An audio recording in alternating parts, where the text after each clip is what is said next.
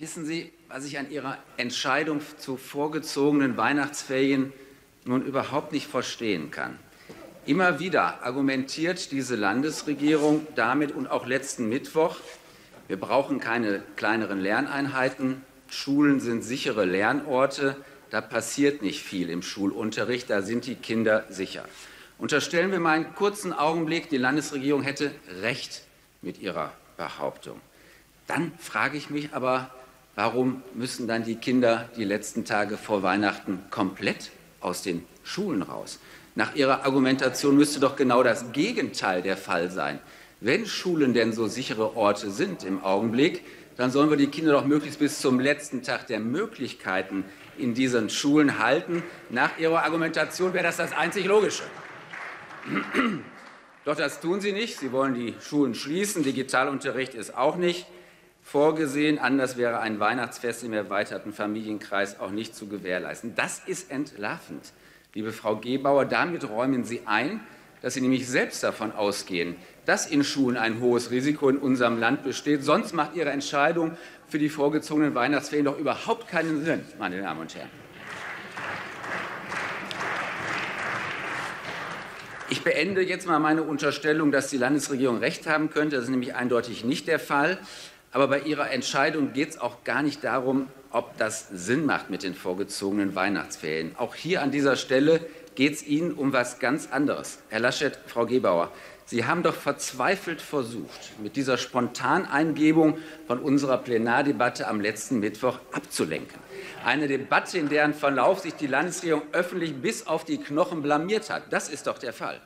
Und dann musste eine, und dann musste eine Blindgranate her, ein Ablenkungsmanöver, denn viel mehr ist ihrer, Ihr Vorstoß in Wahrheit doch nicht. Und doch, wie so oft, wenn man keinen Kurs hat, dann hat dieses Ablenkungsmanöver einen noch tiefer in die Krise geführt. Und da stecken Sie jetzt genau drin mit diesem Ablenkungsmanöver. Glauben Sie denn wirklich ernsthaft, dass die Schülerinnen und Schüler, die jetzt montags und dienstags frei haben, sich den ganzen Tag in ihrem Kinderzimmer aufhalten werden? Die Jüngeren werden sich zum Spielen verabreden. Die Älteren werden die Tage nutzen, um Weihnachtsgeschenke im Einkaufszentrum einzukaufen. Und andere müssen in die Notbetreuung, übrigens in eine Notbetreuung mit dann gemischten Gruppen wahrscheinlich, während wir vorher doch so streng uns bemüht haben, die Klassenverbände konzentriert zu halten und keinen gemischten Unterricht zu machen. Wie wollen Sie denn diese Notbetreuung überhaupt organisieren? Nein, Frau Gebauer, eine Vorquarantäne ohne Elemente von Quarantäne ist nicht mal die halbe Miete. Aber wir wollen nicht zweieinhalb Millionen Schülerinnen und Schüler in Quarantäne, in komplette Quarantäne schicken. Ich hoffe, das will auch keiner. Und deswegen ist Ihr Konstrukt vom gedanklichen Ansatz her schon durchgefallen. Und es rächt sich wieder, dass Sie kein Gesamtkonzept für die Schulpolitik in Nordrhein-Westfalen haben.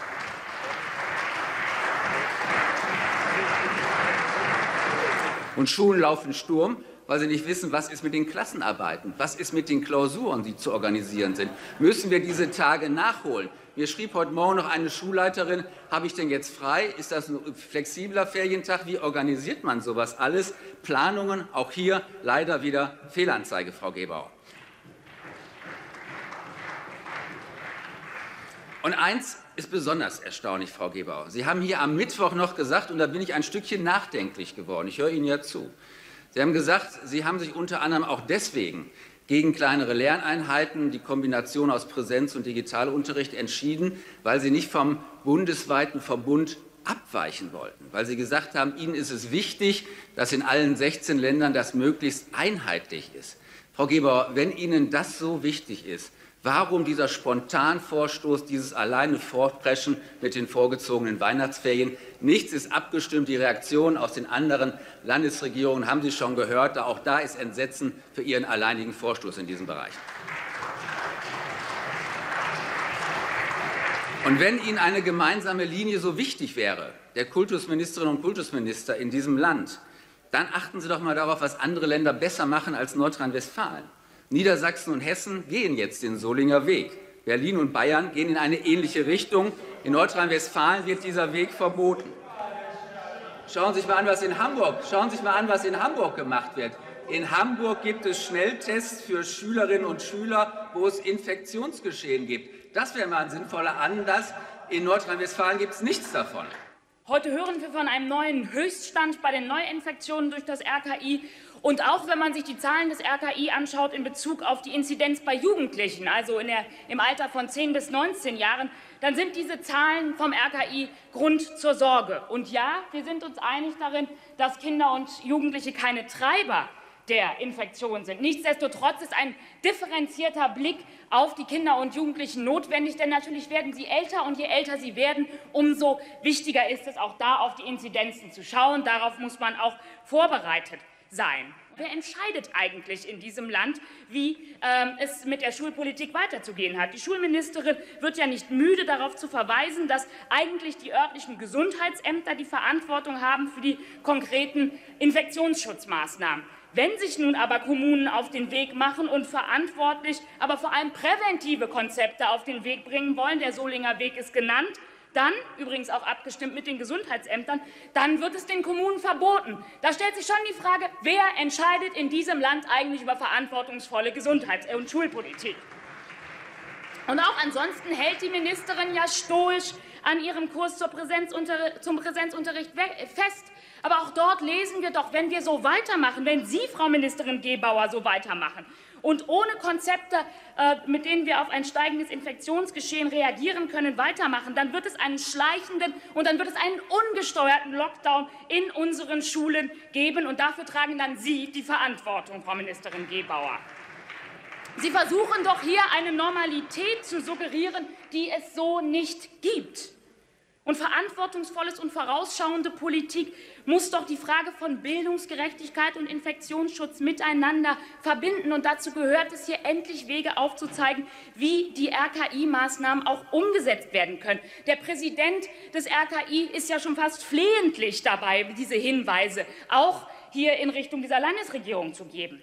Die Verkleinerung von Klassen durch Hybridmodelle, alternative Lernräume, kreative Konzepte, all das äh, liegt auf dem Tisch und da geht es eben nicht um schwarz oder weiß, um auf oder zu, sondern da geht es darum, Konzepte zu entwickeln, wie wir es ermöglichen können, dass wir die Schulen möglichst lange offen halten können, dass Kinder tatsächlich auch von Bildung profitieren können. Und dafür braucht man eben genau diese Konzepte. Aber auch der Ministerpräsident wird ja nicht müde zu betonen, es gäbe kein Personal, es gäbe keine Räume für erweiterte Konzepte. Und ich habe es am Mittwoch schon gesagt. Die Lehramts, Landeslehramtsfachschaften, sie haben ihre Unterstützung angeboten. Gestern haben wir lesen können, dass die Kulturdezernentin des LWL auch ihren Platz, die Museen anbietet für Schulen, um dort eben auch äh, unterrichten zu können, um dort alternative Konzepte äh, anbieten zu können. Allerdings stellt man bedauernd fest, dass es offensichtlich die Menschen, ihre, die Menschen der Landesregierung schon ihre Konzepte aufdrängen müssen, um trotzdem ungehört abzuprallen an dieser Landesregierung mit diesem Ministerpräsidenten an der Spitze. Und die Ministerin hat es heute noch mal im Interview mit dem Kölner Stadtanzeiger unterstrichen, dass sie diese Fragen von äh, räumlicher Entzerrung nicht weiter verfolgt. Ich frage Sie, Frau Ministerin, warum verfolgen Sie diese Konzepte nicht, wenn Ihnen die Konzepte doch quasi angeboten und die Räume fast aufgedrängt werden? Und nun kommt der nächste Chaosvorschlag aus dem Schulministerium zum Vorziehen der Weihnachtsferien. Und ja, man kann inhaltlich über diesen Vorschlag auch diskutieren. Das ist gar nicht mein Punkt. Aber in ihrer Kommunikation zeigte die gesamte Widersprüchlichkeit ihrer Krisenpolitik auf. Einerseits versuchen Sie uns ja ständig diese Scheinnormalität zu suggerieren und andererseits braucht es jetzt eine Art Weihnachtsquarantäne, damit Kinder die Möglichkeit haben, mit ihren Lieben zu feiern. Das ist schlicht und ergreifend widersprüchlich und diesen Widerspruch kann man nur damit erklären, dass das eine Nebelkerze und ein Ablenkungsmanöver ist.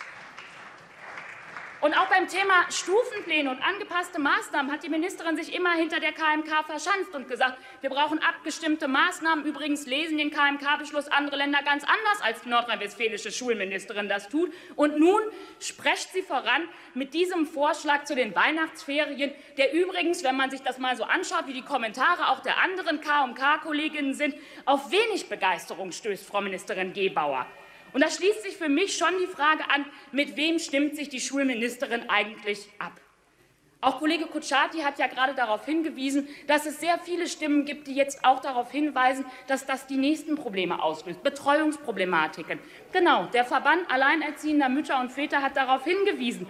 Und es darf doch nicht sein, dass diese Maßnahme jetzt wieder dazu führt, dass das auf dem Rücken von Familien und vor allem auf dem Rücken von Alleinerziehenden ausgetragen wird. Sie hätten vorher Betreuungskonzepte auf den Weg bringen müssen und nicht jetzt schulterzuckend daneben stehen. Meine Damen und Herren, vor heute, am 13. Am 13. März, also sprich genau vor zehn Monaten, haben wir die Kinder im Lockdown ins Homeoffice geschickt. Das war die schlechteste Entscheidung, die wir haben treffen können.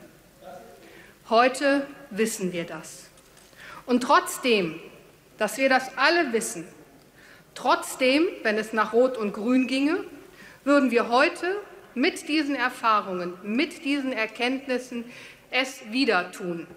Gegen das Wohl der Schülerinnen und Schüler, gegen die Bildungsgerechtigkeit. Das, meine Damen und Herren, das ist Ihr Beitrag in diesen schwierigen Zeiten der Corona-Pandemie. Und Herr Kutschaty, Sie haben immer wieder hier am Pult gestanden und haben immer wieder vorgetragen, Sie mögen auch aus der Opposition heraus Verantwortung übernehmen. Verantwortung übernehmen in dieser schwierigen Zeit. Wer als Vorsitzender einer sozialdemokratischen Fraktion in einer Pandemie aber keine andere Idee hat, als die Hälfte aller Schülerinnen und Schüler nach Hause zu schicken und ihnen damit Bildungschancen zu nehmen, der kapituliert vor den Herausforderungen dieser Zeit und übernimmt keine Verantwortung.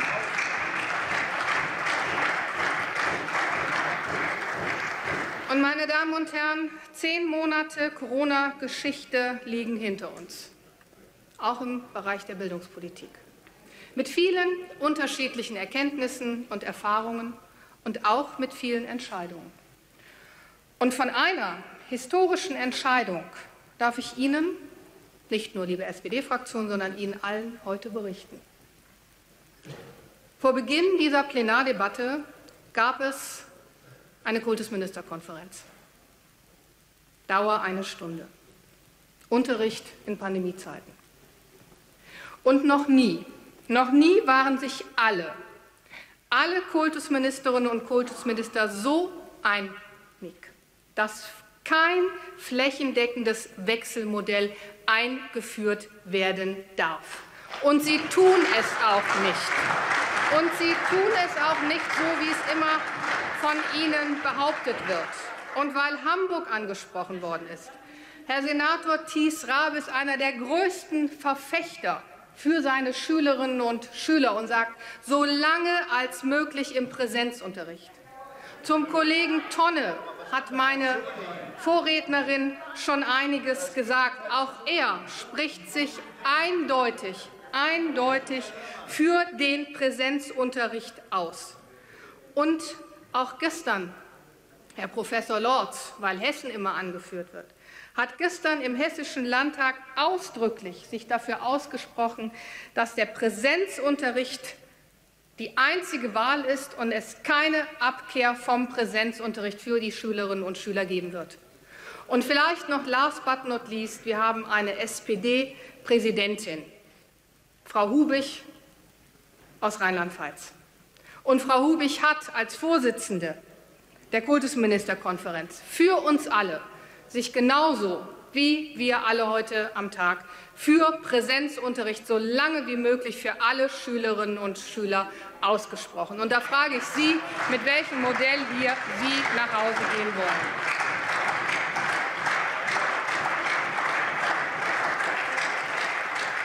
Und ähm, Frau Paul, ich finde es schade. Ich finde es schade, dass Sie es leider immer noch nicht verstanden haben, dass die Schulen bereits schon jetzt die Möglichkeit haben, die Möglichkeit haben, dass Schülerinnen und Schüler im Wechsel von Distanz und Präsenz unterrichtet werden können. Und ähm, ich glaube, es macht Sinn, in diesem Zusammenhang sich noch einmal die Verordnung anzuschauen zu der es ja nun auch ein Expertengespräch bzw. eine Anhörung gegeben hat und die wir gemeinsam nachher hier verabschiedet haben. Und dort in dieser Verordnung steht alles genau so drin, von dem Sie bestreiten, es gäbe es nicht für Nordrhein-Westfalen. Ich denke an dieser Stelle, wir sind gut aufgestellt und wir tun alles Gute daran, die Kinder so lange als möglich im Präsenzunterricht auch in diesen schwierigen Zeiten zu halten. Herzlichen Dank.